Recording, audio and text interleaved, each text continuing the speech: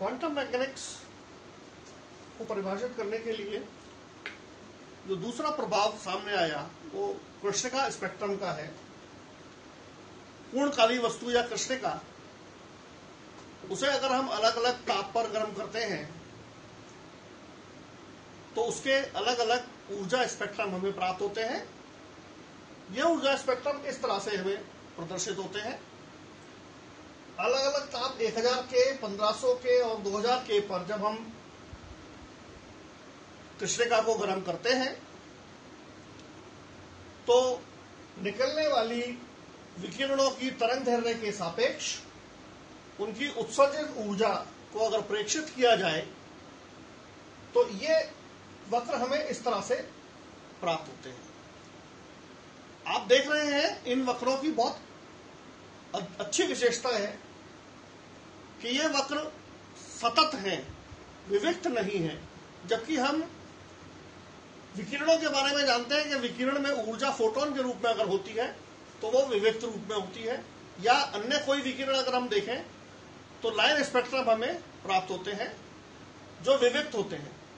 परंतु कृष्णिका का स्पेक्ट्रम सतत है। इसकी सबसे पहली विशेषता कि यह स्पेक्ट्रम सतत प्राप्त होता है। दूसरी विशेषता आप देखें जैसे जैसे तरंग धैर्य का मान बढ़ता जाता है वैसे वैसे प्रारंभ में उत्सर्जित ऊर्जा का मान भी बढ़ता है। एक निश्चित तरंग धैर्य पर उत्सर्जित ऊर्जा का मान अधिकतम होता है और उसके बाद सबसे बड़ा विशेष गुण इसमें देखने को मिलता है कि उसके बाद तरंग धैर्य बढ़ने के साथ उत्सर्जित ऊर्जा का मान लगातार कम होता जाता है। यह इनकी सबसे बड़ी विशेषता है। क्लासिकल मैकेनिक्स में इस स्पेक्ट्रम को परिभाषित करने के लिए किसी तरह का कोई एक नियम प्रदर्शित नहीं किया गया। क्लासिकल मैकेनिक्स में इन, इन्हें प्रदर्शित करने के लिए ये दो नियम इसमें प्रदर्शित किए गए। एक रेलेजियन नियम, जो इसके लोअर तरंग पार्ट को प्रदर्शित करता है, और दूसरा वीन का नियम, जो मैक्सिमम तरंग पार्ट को डिफाइन करता है। वह तरंग जिस पर अधिकतम ऊर्जा का उत्सर्जन हो रहा है। आप देखें, ताप बढ़ने के साथ उसका मान सामान्य रूप से बढ़ना चाहिए, लेकिन यहाँ पर उसका मान लगातार घट रहा है।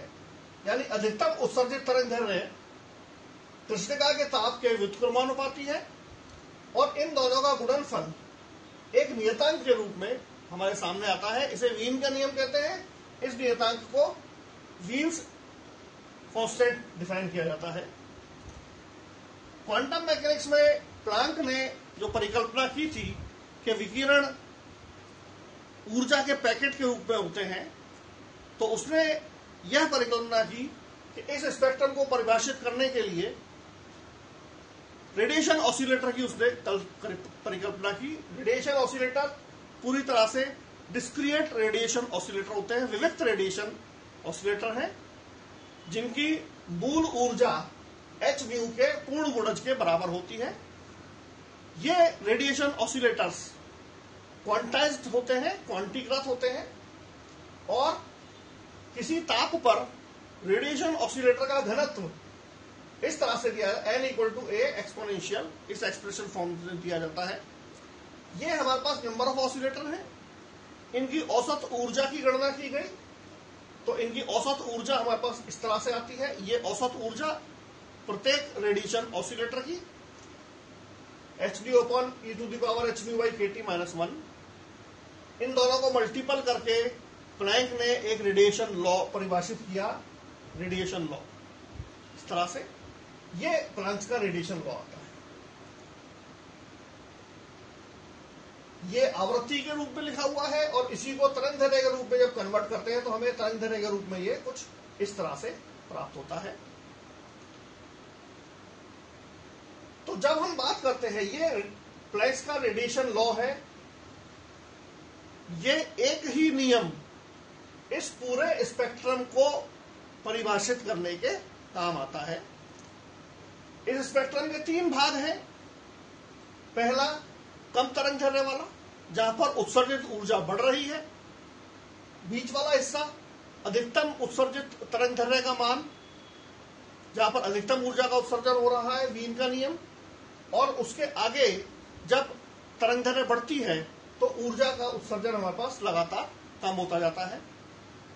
ऊर्जा घनत्व को प्रदर्शित ये कुल ऊर्जा घनत्व को प्रदर्शित करने के लिए इस वक्र और तरंग दैर्घ्य अक्ष, इसके मध्य का क्षेत्रफल कुल उत्सर्जित ऊर्जा को प्रदर्शित करता है।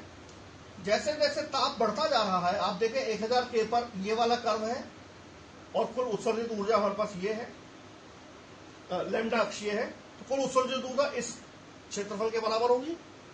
और 2000 के पर ये क्षेत्रफल, ये कर्व और तरंग दैर्घ्य अक्ष क्षेत्रफल इतना ज़्यादा बढ़ जाता है। यानी जैसे जैसे ताप बढ़ता जाता है, कृष्णिका से कुल उत्सर्जित ऊर्जा का मान भी लगातार बढ़ता जाता है। अगर हम इस कृष्णिका विकिरण को प्लांक के क्वांटम नियम से परिभाषित करना चाहें तो इस एक क्वांटम नियम से, बड़े आसानी से इसे प्रदर्शित किया जा सकता है। कम तरंग दैर्घ्य होने पर आप देखें, इसमें जो कोफिशियंट हमारे पास आ रहा है एक्सपोनेंशियल का एच सी अपॉन लेमडा के टी लेमडा का मान कम है तो इसका पूरा मान हमारे पास बहुत अधिक होगा। यानी exponential H C upon lambda के टी का मान एक से बहुत अधिक होगा। तो यहाँ पर हम इस वन को नेग्लेक्ट कर सकते हैं in comparison to exponential part तो ये पार्ट हमारे पास बचेगा eight pi H C upon lambda raise to power four E to the power minus H C upon lambda के टी यानी ये एक्सपोनेंशियल रूप से तरंग दैर्घ्य बढ़ने के साथ इंक्रीजिंग कर्व हमें प्राप्त होता है, जो इसके इस पार्ट को प्रदर्शित कर रहा है। जैसे जैसे तरंग दैर्घ्य बढ़ रही है, वैसे वैसे उत्सर्जित ऊर्जा का मान लगातार बढ़ रहा है।